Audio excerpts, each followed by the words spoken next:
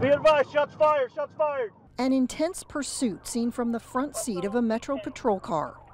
It's Charlie 4, I'm not injured. For roughly four minutes, Officer William Umana trying to stop a pair of suspected killers, Fidel Miranda and Rene Nunez. The pair firing at police 34 times. Watch as Umana shoots back while driving, blowing holes through his own windshield. The pursuit eventually ends at Howard Hollingsworth Elementary near Bruce and Fremont. The suspects crash their vehicle. Miranda, police say, tries to reverse towards officers. He is shot and killed, while Nunez runs away, trying to hide on school property, where he is eventually caught and arrested. Assistant Sheriff Tim Kelly.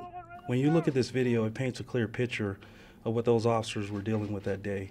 Um, in my opinion, uh, they showed a level, level of bravery um, professionalism, um, heroics um, that we come to expect from our officers. Police say Miranda and Nunez were well armed and wanted in connection with the homicide that had occurred just two hours before the pursuit.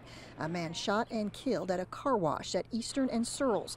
According to Kelly, Metro policy allows officers to pursue, even fire at fleeing suspects if there is imminent danger to others. The officer could have backed off, but he didn't.